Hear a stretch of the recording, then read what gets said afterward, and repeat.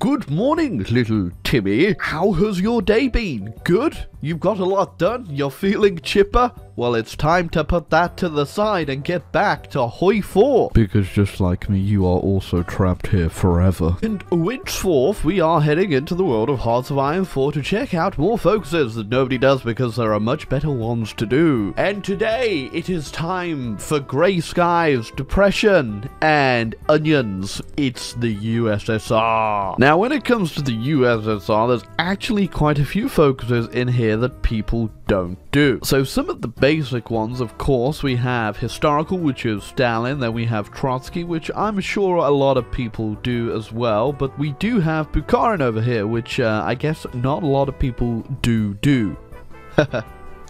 do do. But the path I want to do today is all the way here in Bizarro Land. Now, of course, if you're going to go ahead and overthrow the USSR, usually you do it for a bit of LARP and bring back Mr. Tsar Nicholas himself, at least his relatives, because Tsar Nicholas unfortunately didn't make it out the basement. So instead today, we won't be doing any of that nonsense with the Romanovs. Instead, we're going to go ahead and dismantle the Zemsky Sobor. But that's going to be a little while away. First off, we've got we've got to actually, uh, you know, win this whole civil war thing. So since we benefit from the knowledge of knowing what's coming, we're going to go ahead and build the railway all the way to the the west, um, so we get a much better experience fighting through Siberia. Uh, I say much better, but it's really not going to be that much better. It'll still be absolutely terrible, but that's the fun of Siberia, children.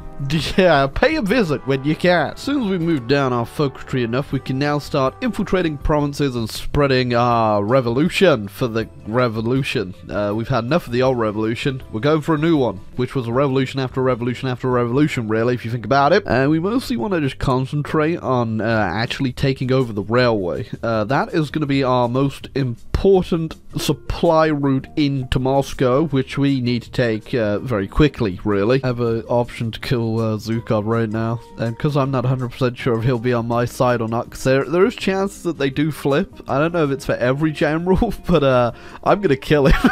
okay, there you go. We finally got ahead and got ourselves the Civil War. Uh, I took a bit longer than usual just because it was going so well, and look at all that land we now have. Uh, the Civil War isn't too complicated. You get a whole bunch of partisans rise up, and you just want to kind of snake for the big cities because you will get events where you'll capture their supply or they'll flip to you, which is uh, pretty important because um, you don't exactly have the best situation in what you're in right now. You need to win as quick as you can. But there you go. We are now situated for the Mad Dash in Kiev, which um, went a a bit better than it did recently, I imagine. Also, I can't remember if I even mentioned it, but an easy thing you can do to kind of make this way easier for you in any Civil War in a Hoi 4 game, uh, I don't usually like to do it, but in the Civil War with Russia, you kind of need to because you want to get it done quickly, is before you actually set it off, Go ahead and switch all of their templates to a cavalry one or just a really weak one, and then delete all of their other templates. It'll make things way easier as that's all they'll be able to recruit. Well, uh, other than their starting NKVD division, you can't change that, uh, or the garrison, so make sure you set it to their garrison too, and it will just make your life a lot easier as like I am just only fighting cavalry now. Go, that wasn't too difficult at all. I didn't even have to push far into them. I got about here, uh, Ukraine and Crimea and Kyrgyzstan and uh, Armenia have also blown out of them, so I'll have to eat those guys back up as well. The most important choice of the entire game here, do we keep our capital in Chita, which is all the way over here, which is probably the worst thing you can do, considering all your supply comes from your damn capital, or should we just move it to Moscow, which is the sensible thing to do? Of course, we're not really going to lean into that whole monarchist thing today. It didn't go well the first time, it's definitely not going to go well the second time, so we're going to go with Volgograd. Strong name. Right, there you go. We have secured our new state. And securing is definitely what we need to do now because it's 1939 and we are incredibly weak to what you would be normally is you just played the Soviet Union. Because right now the Germans wanted to roll over us. They most certainly could roll over us. Uh, we need to beef ourselves up. So we still get Molotov, uh, which is okay, I suppose. Uh, we, we still hold all this land. It's going to be a bit annoying now because we're going to have to hold hold it, and the Polish resistance is not too fond of that. Oh, it's 1940 and the Germans are already coming for us. This can only go well. The Tsar is finally back, although much of the power, as we have already discussed, won't be really lying with him today, as we are dismantling the Zemsky Sobor. Right, there you go. We have dismantled the... I've said it so many times already. We have dismantled the Zemsky Sobor, and we are now... Uh, a little bit of a different thing going on. now, the Germans do already have their war goal on me, but whether or not they will declare on me, I'm not too sure. I'll try and get more non-aggression packs and, you know, tell them that I'm cool, bro. I'm just like you, without the mustache. Instead, I have this beard. Uh, to hopefully give us a bit more time to build up, because uh, we definitely need a lot more time to build up. We are very behind. Right, so I have rushed down here to the third Rome for something, uh, something interesting. Coronation of Patriarch... a lot of people say they may be the third Rome, but on the map, it says that I am the third. Why did we have to be this color too? Alright, so we've had a bit of a change of leadership here, and now we have the trait Defiler of the Sun God. Supreme representative of God on Earth. You know what? sure. Alright, now this does mean that I am no longer fascist, so that is no problem for me because they were called Third Rome. Uh, so I imagine the Germans will be coming in. Yeah, they just cancelled their non-aggression pact. And uh, yeah, I'm not too worried now. I got a little bit of extra time to build up. Here they come. And I guess, yeah, we could join the Allies, but no thank you. So the German war machine has ran into the, um, the Russian wall. Uh, yeah, okay, just moving up to where they are now. They've taken 2.1 million casualties. now that we have stopped the Germans in their tracks, we're simply waiting until our own war economy really kicks into gear and we can do a pushback. Uh, these units are only really made for holding, so it'd be pretty catastrophic to attempt to push them all the way back to Berlin right now. So all I'm saying is don't get too comfy there, Germany, because you'll be going home soon. And our planes are just completely out-trading the Germans too by a long shot, which is fantastic. We need to blow up their air force if we ever want to push them out here. Now we got long enough that we can finally get about fixing our infantry and our army, which is very important. Uh, otherwise, we'll be going in with quite a few debuffs. Um, Sorry, I just realized how bad my air force is right now too. uh, but you have a lot to do as the Russians. Uh, the army's already got a little bit better, but this should pretty much sort it out. And the air force is still going to have to work on a bit, but even so, we are still just absolutely decimating the Germans in the air. Uh, yeah, we've done 5 million casualties on them. Uh, just under a million ourselves, but when haven't the Russians taken massive losses? I was going to hire an admiral for our uh, navy, but I guess uh, Stalin got them all, so Emil Gergen, you're in charge. So we're in a position now where I think we could probably easily roll over the Germans, which makes things too easy. So instead, I'm going to war with Estonia. Mother always said do not play with your food, but Mother also never had to rebuild Third Rome, so go to hell. Speaking of Third Rome, uh, there goes First Rome. Now you can't have Third Rome without Finland. That would be like having a sandwich without bread. It looks like the Germans ain't looking too fresh. I think it might be time for us to make our move. Uh, Casualty-wise, they have taken 7.5 million from me. yeah, uh, but first off, uh, Third Rome could, uh, well, I guess I don't get Lithuania in my Third Rome unless... Ba-da-da-da! That's right. Break the AI. But yes, uh, Lithuania, very important to the uh, Third Rome grind. It, it's time.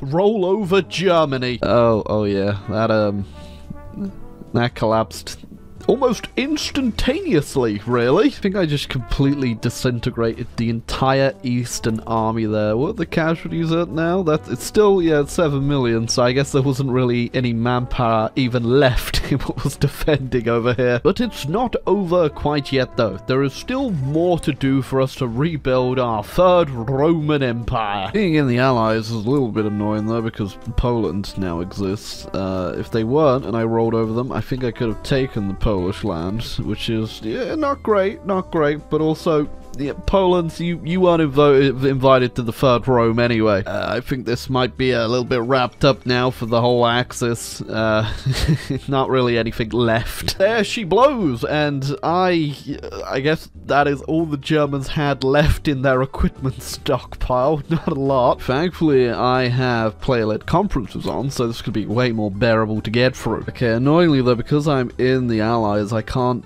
puppet. Oh, anyone that. That okay. Oh we're going in for some drastic measures. I uh I just immediately got kicked from the uh the allies too probably because what i just did at the peace conference. Boys we've got a new opportunity out east. First things first time for a bit of revenge on the mongolians for something or other. Not sure what also called in Tannu Tuva to help them. Don't think that's gonna go very well. Go now I've got my great puppets of Mongolia and Tanatuva, which is now Tanu that. The big thing about doing Third Rome is obviously getting war goals on Turkey, Italy, and for some reason the UK too, which, uh, yeah, we don't really want to do that because they're all in the Allies, and I don't really feel like invading America right now. But another part of coming over here on the focus tree is that we get to get revenge for that whole Russo-Japanese war business. Uh, also, kind of weird, you get this thing called intervention in the Americas where you just uh, boost fascism in a whole bunch of people and get rid of their stability for 730 days. We're gonna do this too just to see what happens, but uh, we also create the North Pacific Treaty Organization. Uh, and uh, yeah, I've also got to the point where I have nuclear bombs now, so I'm sure they'll come in handy for a little thing we got planned. That's the absolute worst about Russia right now, and I wish they would change. You can't actually release any nations from you unless you do the autonomous Soviet republics, which of course you can't do. Um, I please change this for the love of God. Interestingly enough, it doesn't look like the Allies combined so far have put much of a dent in Japan. They got a couple islands, but they've also lost a bit of the front line over here. Probably because Japan's actually done reorganized government of China, so they're probably a lot more powerful than usual. Uh, it's going to be a shame that I'm going to tear that whole thing down as well. Well, I'll, I'll go ahead and give them a bit of a head start. You know, give a bit more time to get ready for me. I'll do the um.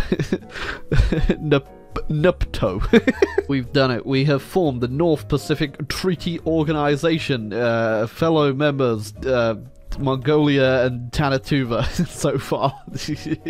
but we'll grow it larger to get around this allied horde. Oh look, we got the Dominican Republic. Nice. Big, big moves. I guess we could invade America from here if we feel like it. Oh, Venezuela too. Okay, we're growing larger. Look at that the Roman purple covering the, the, Caribbean now. Yeah, okay, so the problem with this, alright, is that they all will just leave me. Um, uh, simply for the fact that I'm not even fascist anymore. I'm just not aligned, so I don't think they really want to be my friend. Hey, regardless of that American affair, we are now going to take what we will call sweet, sweet revenge. Russo-Japanese War Round 2. They literally have nothing on my borderloo. So I did steal the uh, the Axis navies, and uh, as you can see, they are doing the work. Unlike in the first first Russo-Japanese War, the navy didn't really do the work. I see you there, uh, Venezuela. You're in the wrong. you're you're on my side. Oh, we're, we're dragging them in. what happens to those units? they just disappear, or they fight? I think they just disappeared. A little delayed. Uh, Russian meddling in the Americas. Yeah, we are indeed meddling in the Americas, but uh, we were doing that a little while ago. I see how it is. UK. You know what? you know what? If I can't take Japan, you're not gonna have it either. Yeah. I hope hope you love it over there. Interestingly enough, I did check. I don't think any of the South American countries actually got that modifier that boosts fascism in them, or the uh, the stability modifier. Not sure why. Um, maybe because we're not fascist too. Uh, but yeah, or it could just be broken. You know, I mean, with Hoi 4 it's probably just broken, you know? Oh, there goes the Japanese. Do I actually have to capitulate the Chinese? I do actually have to capitulate the Chinese to get this over with, and, uh, oops, forgot about that front. Don't even care to make this a little bit easy on us, although given historical precedent, that is probably not very sensitive. Alright, there we go. Now, time to make the third Rome even further. There we are. Truly, we have very much defiled the sun god. Uh, in fact, we've pretty much dropped the sun on them at a couple different points there. So I would say uh, third Rome is probably the best uh, path you can go as Soviets. I think just staying as the Soviets is probably the best path because you just get you're so slow having to do the Civil War and then also being guaranteed to be declared war on by the Germans isn't really too fun. I guess if you did uh, a historical, it'd probably be a little bit better because then you have the chance that the Germans won't just come in and absolutely decimate you. And uh, of course, they didn't decimate me, but also holding as the Soviets, it's incredibly easy with all the uh, new entrenchment bonuses and defensive buffs that you get. So yeah, we, we did absolutely destroy them, 7 million of them, to put it lightly. Uh, but still, you don't really get much chance to be aggressive as Third Rome, or do a lot. Uh, I had to do my wars with the Baltics and uh, the Finland while at war with the Axis, which, again, I might not have even gotten one of them because the UK guaranteed Lithuania. Uh, but either way, I hope you enjoyed this look at Third Rome, and if you want to give me another path to have a look at in our terrible focuses, nobody does for very good reasons, then feel free to let me know down below. Uh, I'd love to do some more, and I think we'll probably revisit uh, old Russia another time because I do want to do some achievement hunting again. But uh, till next time, my gravy Timmies, wake up.